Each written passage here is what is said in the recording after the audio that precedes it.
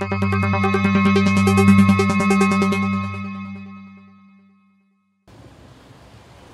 các hộ dân tại phường Quỳnh Lôi, quận Hai Bà Trưng, bãi trông giữ xe này trước đây là ao Đông Ba.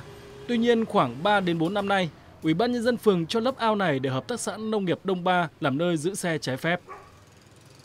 Khi đó làm cái mương này thì người ta lấp thì người ta thành lập một cái bãi xe thôi. Chính quyền với lại cơ sở này họ tự lấp chứ còn trước nó không có ai lấp cả, đó là hồ. Dân làng Quỳnh nó tiếc lắm. Nó là cả một cái lịch sử của cái đất làng Quỳnh. Cao Đông Ba là người ta muốn là vấn đề đấy làm cái sân chơi của hội cao tuổi và các cháu thì đúng không? Thế, thế nhưng mà lại đem biến thành cái vấn đề tức là cái bãi để xe.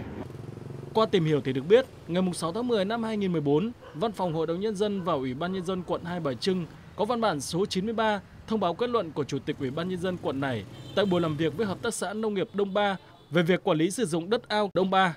Theo đó, chấp thuận để Hợp tác xã Nông nghiệp Đông Ba tạm thời khai thác dịch vụ trông giữ xe ô tô, xe máy tại các khu vực đất ao Đông Ba trên cơ sở đầu tư cải tạo hạ tầng khuôn viên và đảm bảo tiêu thoát nước. Quận đã có dự án là thực hiện cái ao Đông Ba này là ờ, dự án công viên cây xanh. Thế nhưng ở trong quá trình chưa thực hiện dự án, thì bên hợp tác xã nông nghiệp Đông Ba mới xin quận là chấp thuận để cho ờ, được cải tạo, có nghĩa là san lấp mặt bằng. Trước mắt là chưa thực hiện dự án thì bên hợp tác xã sẽ tạm thời làm bãi trông xe Mặc dù chính quyền địa phương có giải thích việc vì sao lấp ao Đông Ba làm bãi đỗ xe như vậy, tuy nhiên, theo người dân phản ánh, việc Ủy ban nhân dân quận Hai Bà Trưng cho phép hợp tác xã nông nghiệp Đông Ba trông giữ xe tại các khu vực đất ao Đông Ba đã thể hiện không ít bất cập, nhất là về cảnh quan nơi đây.